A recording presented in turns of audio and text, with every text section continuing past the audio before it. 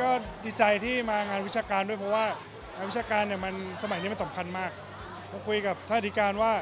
โรงเรียนตอนนี้มันไม่สำคัญเท่ากับประสบการณ์ละวิชาการนี้มันไม่ได้ถูกเอาไปใช้เนี่ยมันไม่มีผลอะไรเลยกับกับโลกในยุคปัจจุบัน บางคนอาจจะไม่มีวิชาการมากแต่ว่าเอาไปใช้มากเนี่ยเผลอจะมีความใช่ความรู้ความเชี่ยวชาญมากกว่าด้วยซ้ำงั้นก็ไองานวิชาการแบบนี้ถ้าดูเนี่ยมันจะไม่ได้พูดถึงวิชาการขนาดนั้น แต่ว่ามันจะถูกคิดว่าเอาไปใช้อะไร มื่อกี้น้องที่เขาทำไอ้ AI Deep Learning เนี่ยเขาบอกว่าเขาเอาตัวเทคโนโลยีไปจับกับเรื่องการตรวจเอ่อสุขภาพเหงือกเงี้ยเราถึกเอออย่างเงี้ยมันคือการเอาวิชาการมาใช้มาใช้เอ่อกับโลกความเป็นจริง ซึ่งอันนี้คือหัวใจของของการเรียนรู้ครับแล้วก็มีมหาวิทยาลัยมาหลายที่ด้วยจำได้ตอนเรียนผมจบม 4ม5เนี่ยผมยังไม่รู้เลยว่าว่าผมจะไปไหน แต่เดี๋ยวนี้โรงเรียนเราก็แบ่งเป็นแทร็กเมื่อกี้บอกว่า แล้วก็มีให้ทดลองว่า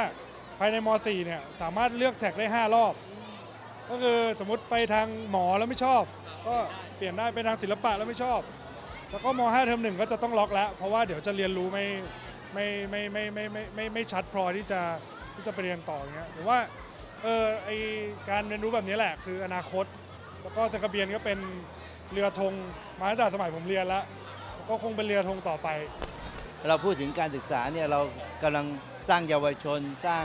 พลพลเมืองที่มีคุณภาพนะให้กับบ้านเราเพราะฉะนั้นการร่วมมือกันเนี่ยดีเสมอ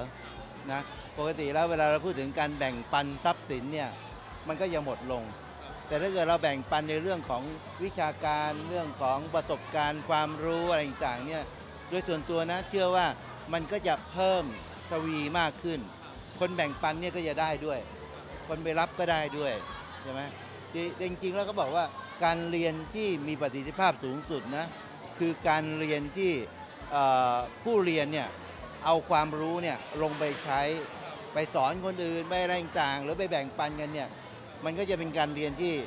ที่มีคุณภาพสูงอย่างที่ท่าน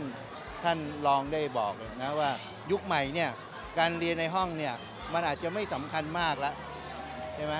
แต่สิ่งที่สำคัญก็คือเนี่ยให้เด็ก มาทำกิจกรรมให้เด็กก็ได้มาเรียนรู้อะไรที่มันเปิดกว้าง แล้วก็ตามความสนใจของเขานะแล้วก็ได้มาทำงานร่วมกันอันนี้สำคัญมาก เราพยายามเน้นให้เด็กเขาลงมาทำงานร่วมกัน แล้วก็ให้เด็กเขาเรียนรู้จากประสบการณ์การทำงานร่วมกันนะเพราะฉะนั้นโลกยุคใหม่เนี่ยความรู้อย่างเดียวอาจจะไม่พอ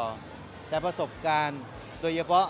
ความสามารถในการทำงานร่วมกัน การเป็นผู้นำ ผู้ตามที่ดีนะการร่วมกันบริหารจัดการนะครับ เป็นเรื่องสำคัญนะเพราะว่ามิฉะนั้นแล้วถ้าเราถ้าเราไปคนเดียวเนี่ยเราไปได้ไม่ไกล แต่ถ้าเราไปด้วยกันเราจะไปได้ไกล แล้วก็จะดีขึ้นเรื่อยๆ เพราะว่าเราแบ่งปันความรู้เราแบ่งปัน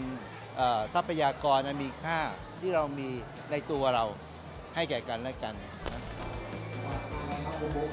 นี่เราจะได้